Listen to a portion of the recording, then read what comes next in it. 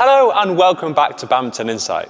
In this video, we're going to give you an insight into badminton specific exercises you can do off the court to help improve your performance on the court. Yeah, we're going to be in the gym showing you five exercises and also here on court to explain how each of these will improve areas such as your strength, speed, muscular endurance, explosive power, as well as, of course, reducing the risk of injuries.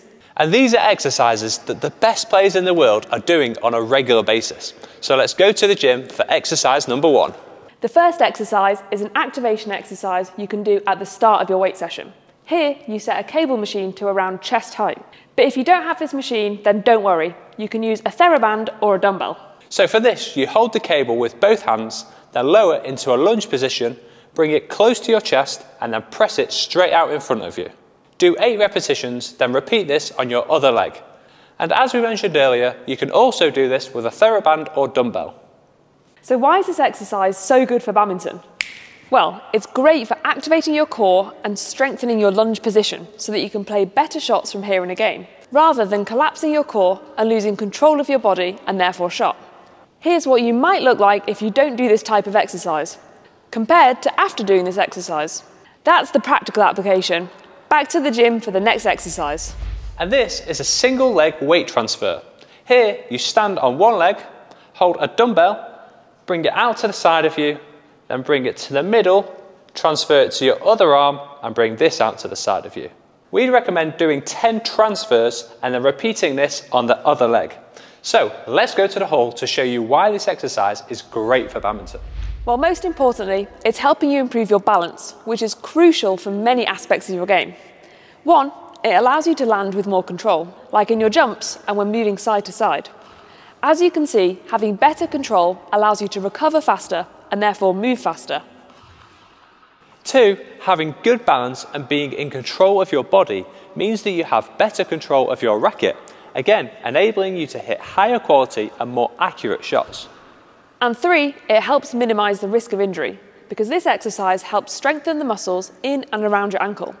We thought about putting a clip of people rolling their ankles here, but decided against it. Training your balance little and often will also have a compounding effect over time, helping you in day to day life, like when standing on a train. The weight transfer is also great for conditioning your shoulders. It strengthens the muscles in the back of your shoulder, which are used in the acceleration and deceleration phase of many shots in badminton. And because you're training having your elbow out with more resistance than the weight of a racket, you won't have any excuses to have your racket by your ankles.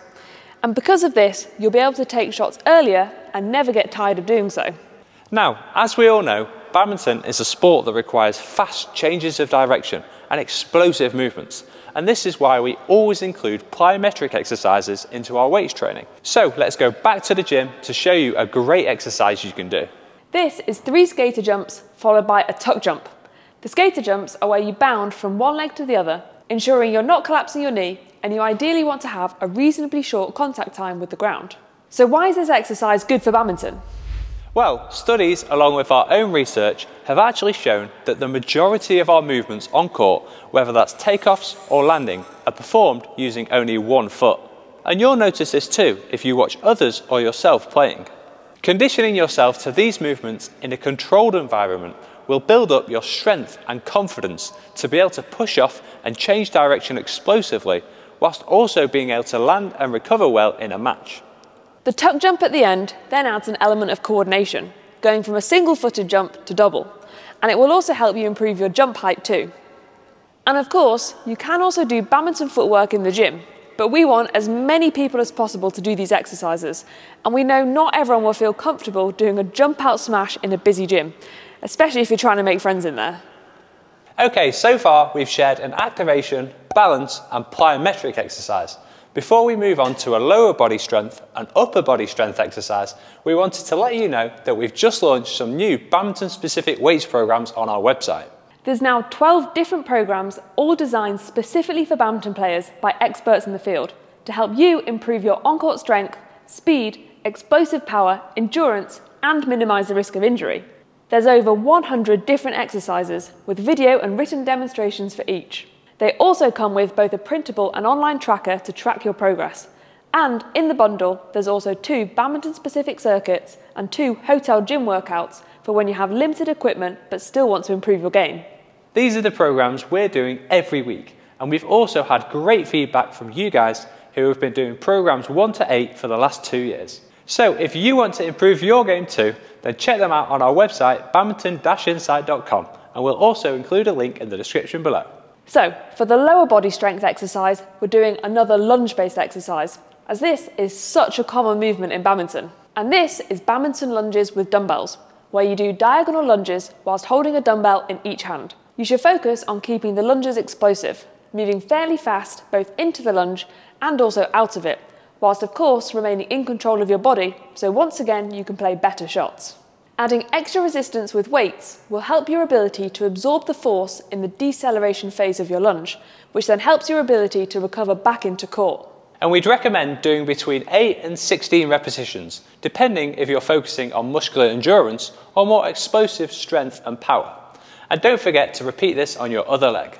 Even though you shouldn't lunge forwards with your non-racket leg, I repeat, shouldn't lunge forwards with your non-racket leg, it's important that you don't have too much of an imbalance. Hopefully you can now see the benefits this exercise will bring. So let's move on to an upper body strength exercise for badminton. When playing badminton, you use your shoulders a lot. For most people, too much smashing on the court, as well as lots of time at a desk hunched over, can pull your shoulder forwards. This can cause impingements in your shoulder and a lot of pain, so balancing it out is very important. And one way you can do this is by strengthening the muscles in the back of your shoulder. Yeah, there are many exercises for this, but one common one we do is a dumbbell row. You can do this with one knee on a bench and the other foot on the floor to give you a nice strong base and good posture. You then need to lift your arm up in a controlled motion, focusing on squeezing your shoulder blade and not just using your bicep and forearm. Otherwise, it's a fairly pointless exercise. Again, we'd recommend doing between 8 and 16 reps on each arm. Often, people go too heavy with the weight, so don't worry about impressing others with what you can lift. Try and impress them with your form instead because this will help you much more on court. And as with all of these exercises, if you're new to weights training, please be careful and make sure you start with light weights and focus on having good technique. We don't want anyone injuring themselves. So let's head to the hall for the last time to show you the badminton benefits this exercise will bring. Yeah, so as well as helping to counter those muscles in the front of your shoulder that are pulling it forwards, this exercise will also improve your control in the deceleration phase of your smash, which we know is very important. And it will also give you more strength in your backhand clears, drops and smashes.